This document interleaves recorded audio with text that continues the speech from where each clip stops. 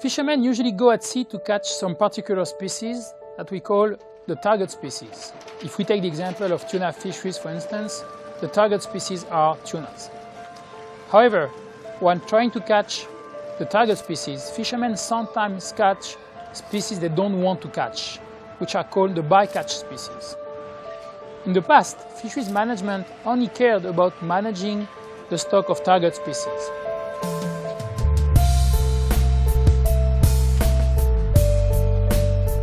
With a new ecosystem approach to fisheries, the objective is also to manage the stocks of all species that live in the ecosystem and that are impacted by the fishing activities, which includes, of course, the bycatch species.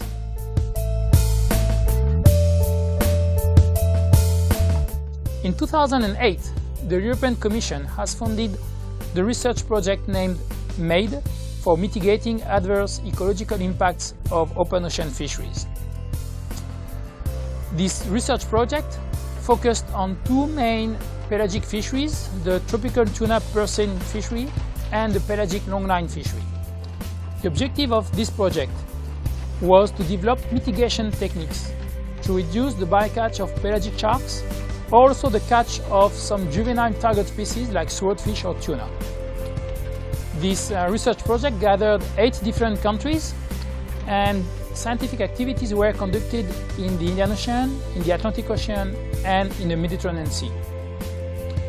When you want to develop mitigation techniques, you need to know the ecology of your bycatch species. You need to understand where they go, how they behave.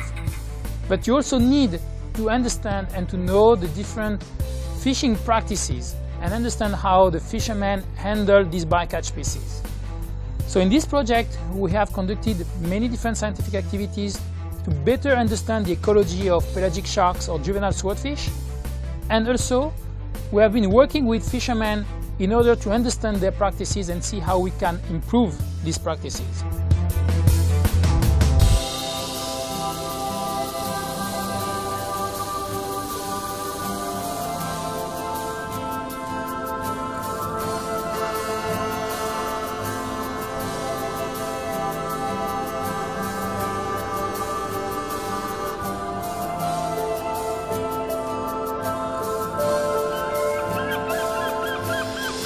The different scientific teams of the project have been using the same technique and the same protocol to investigate the behavior of pelagic animals. We have been using what we call pop-up archival tags. Let's see how these tags work. First, you need to catch individuals in a very good condition. You need them to be in a very good shape. As you can see, the technique consists of attaching the shark alongside the vessel, putting the shark on its back, so that the shark is in catalepsy and the scientist can operate the shark in a good condition in a safely way. Then we put the tag on the back of the animal. When the animal is swimming in the ocean, the tag is collecting different types of data. The tag is equipped with different sensors. We have temperature sensor, pressure sensor, and the light sensor.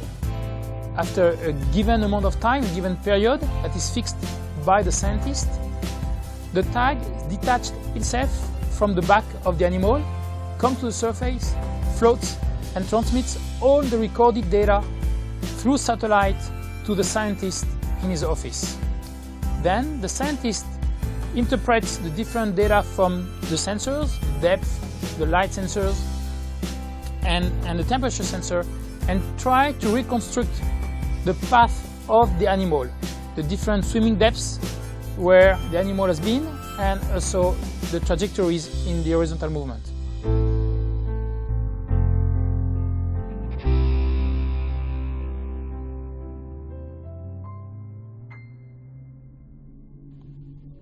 In the first part, we will see uh, the, some of the scientific activities that were conducted on the longline fisheries.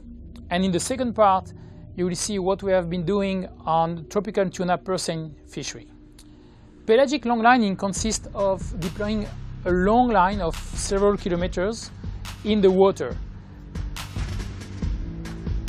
Many hooks are attached to this long line. These hooks are baited with small pelagics or squids with the objective of attracting large predators to the hooks so that the fishermen could catch usually tuna or swordfish, which are the main target species of longline fisheries.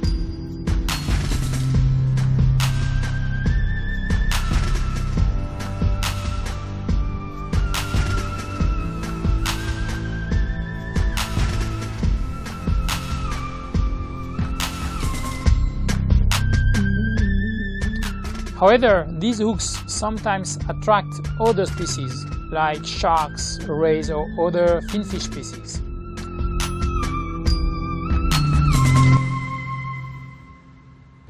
When fishermen retrieve the long line after a few hours in the water, then they discover what they have been catching.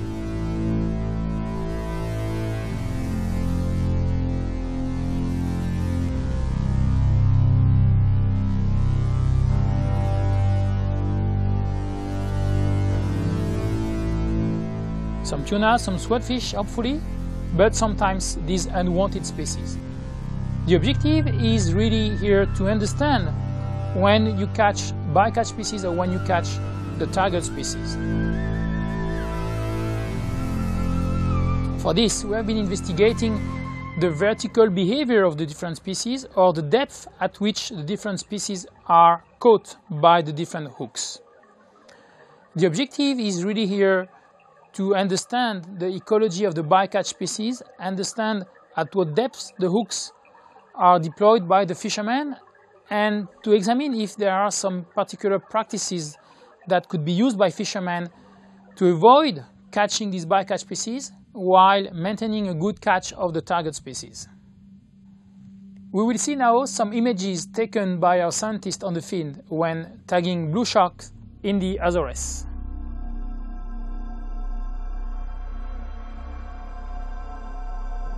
The blue shark is, in the context of pelagic sharks, a special case because it is a bycatch traditionally, but more recently it has become the interest of the industry for uh, uh, profit uh, purposes as well. So in some areas it's not a bycatch species anymore, it's actually a target species.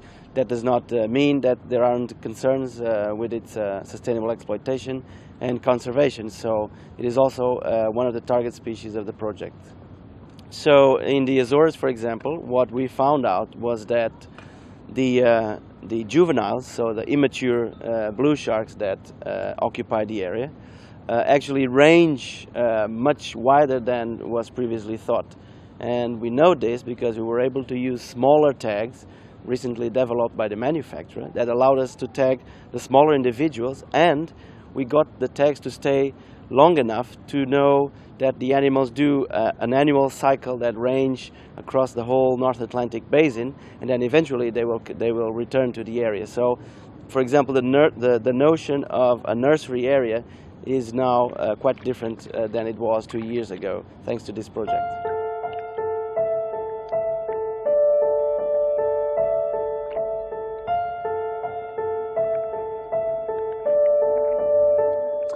Let's move now to Brazil and see what the Brazilian team has been doing on a different shark species, the oceanic white-tip shark.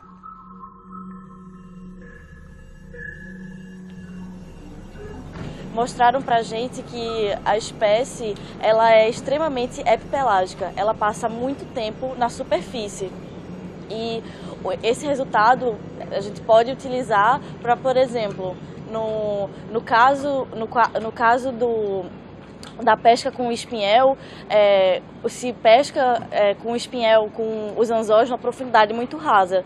Então, se nós pudermos aprofundar essa, esses anzóis para que eles atuem numa profundidade maior, estaríamos evitando que a espécie fosse capturada.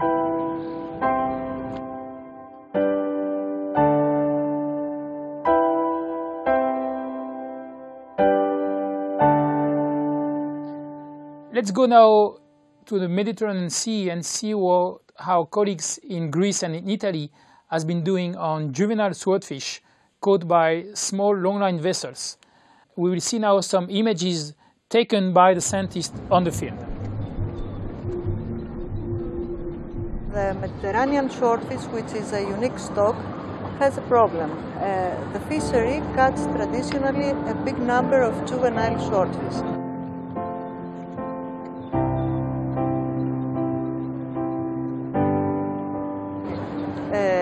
It was the first time that uh, uh, electronic tagging uh, was made on juvenile swordfish, on small juvenile swordfish. Uh, we tagged fishes of around 10 kilos or less.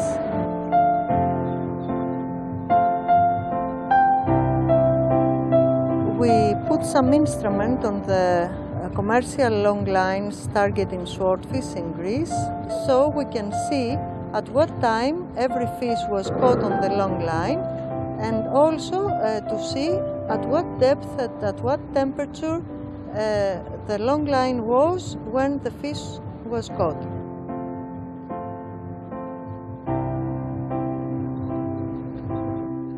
This new knowledge on the ecology of pelagic animals must be used now to see how they can adapt their practices to avoid catching these species.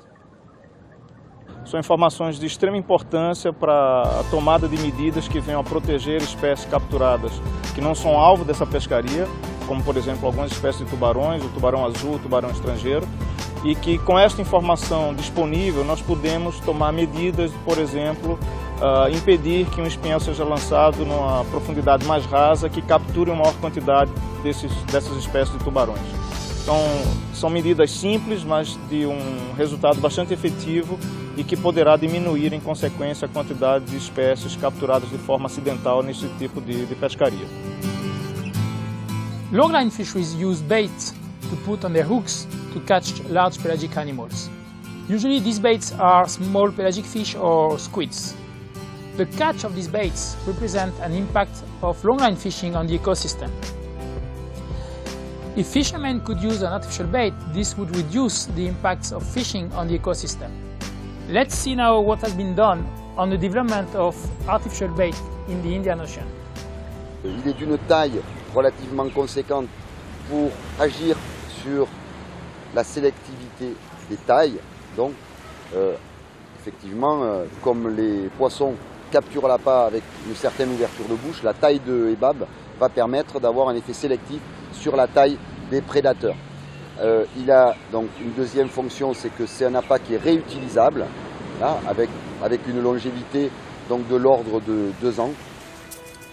Et c'est un appât donc qui, pour son aspect attractant, a une chambre qui permet d'accueillir une saucisse qui est fabriquée avec des déchets des usines de transformation. Donc ça permet aussi donc une utilisation, un développement de sous-produits euh, de l'activité de pêche.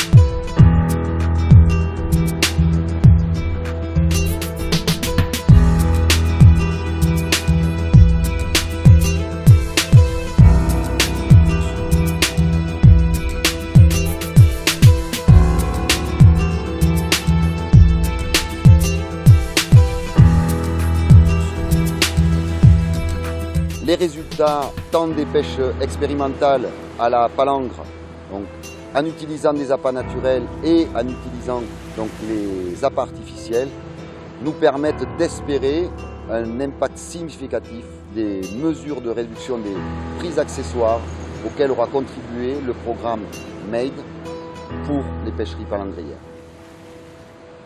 The results from all these scientific activities done in different countries are used now to propose different mitigation techniques from adapting the depth of the hooks so to avoid catching some particular bycatch species, also to propose some areas in the ocean that could be protected to avoid uh, large catches of, of bycatch, and also the use of this artificial bait that could really reduce the impact of longline fishing on the ecosystem.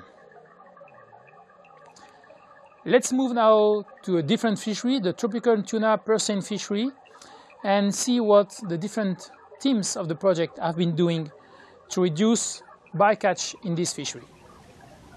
This fishery is mainly using two modes of fishing.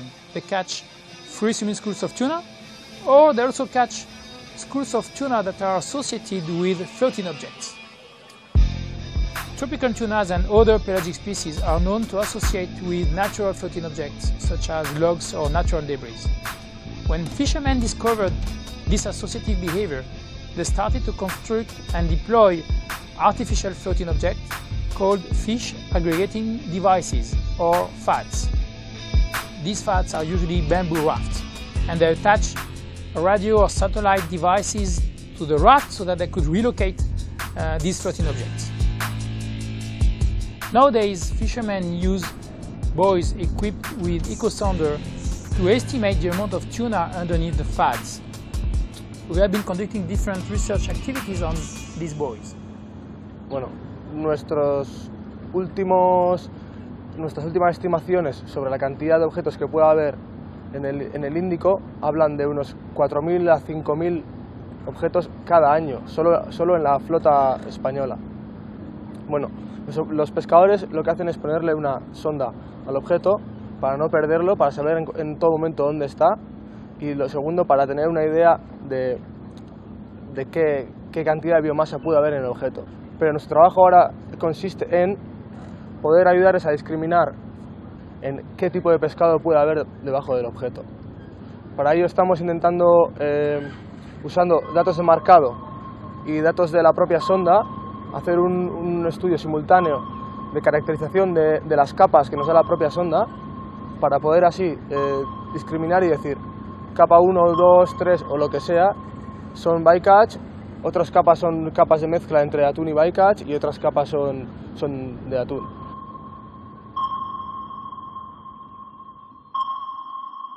The main difference between the two fishing modes of tropical tuna purseaners is the rate of bycatch. When fishing on free swimming schools, tuna purse seiners usually catch 1% of the total catch of tuna, 1% is represented by bycatch. When they fish on fads, it's 5%, so you have five times more bycatch than when fishing on free swimming schools. So the objective of the project is here to investigate different methods to reduce this rate of bycatch, and in particular to see how we can avoid catching pelagic sharks. When fishermen find a fad, they first launch the skiff and then deploy the net.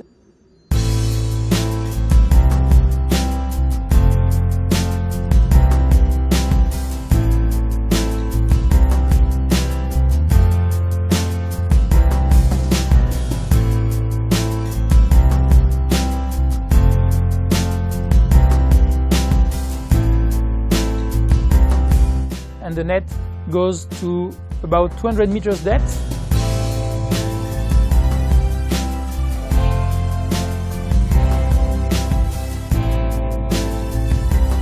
And the net is encircling all species that are present with the tuna.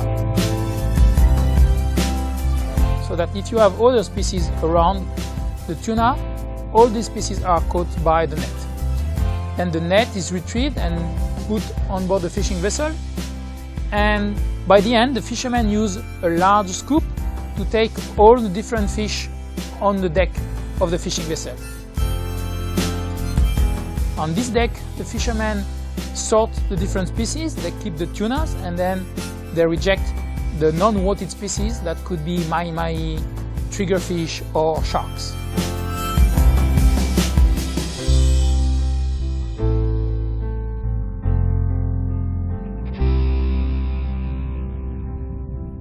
A classic fad is usually a bamboo raft with all nets hanging underneath the fad. As you can see, the problem is that these nets underwater can entangle animals and this ghost fishing can cause a significant mortality of, of sharks.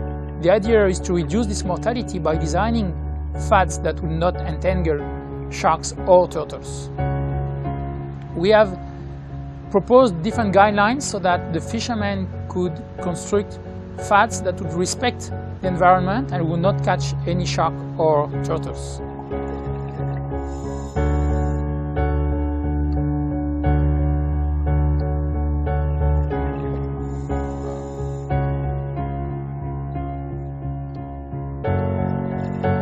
Let's see now some images taken by observers on board tuna purse seiners. You can see that some animals, some sharks, some rays arrive alive on the deck. So the idea was to define some handling practices to release these animals in a varied condition and also in a safely manner so that there was no risk for the crew.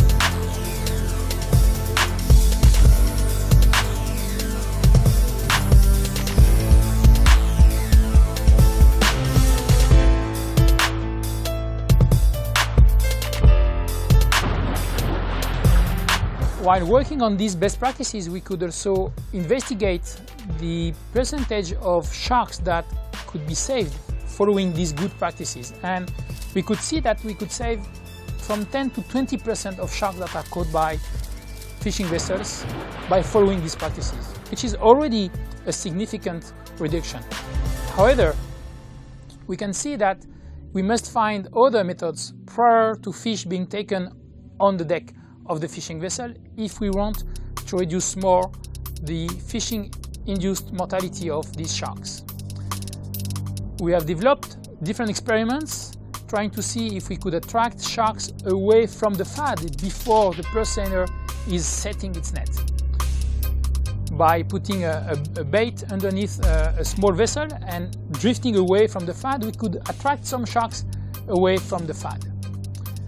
However, we have been doing the same experiment inside the net and trying to have the sharks escaping the net using this technique and we didn't have very successful methods.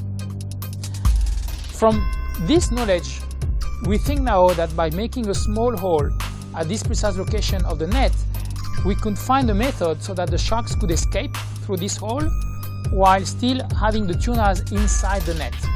This is the future experiments that we hope will be able to be investigated, uh, in particular in uh, this joint project funded by the ISSF.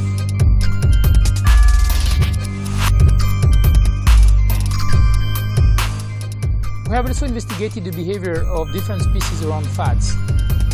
One of the main bycatch species that we have been investigating around FADs is the silky shark the major uh, method that I use is using acoustic tagging, where we put an acoustic tag inside the body of the shark, and then we have an acoustic receiver that is attached to the drifting FAD that drifts around the ocean, and then the shark spins around the drifting FAD.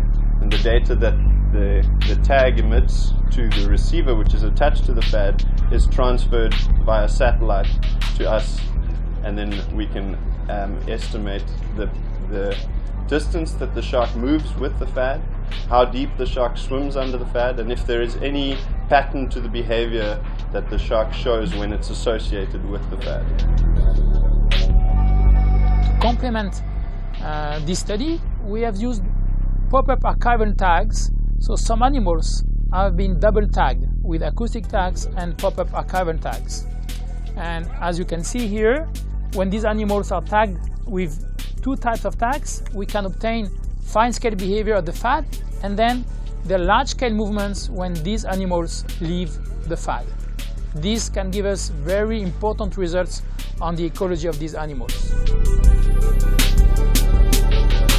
Tunas and sharks are not the only species living around fads, and we've been investigating these other finfish species.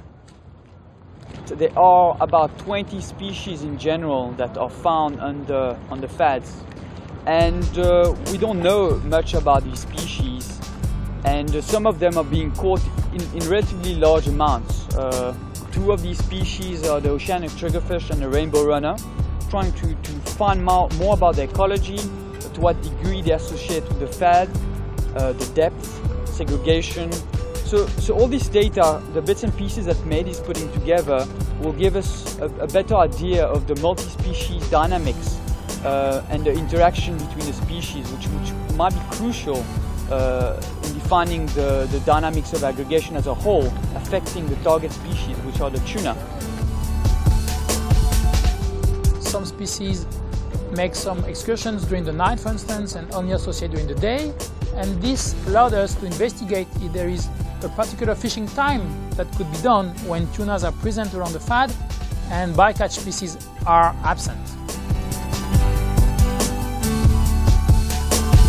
fishermen realized during the project how important it is to care about bycatch and in particular sharks.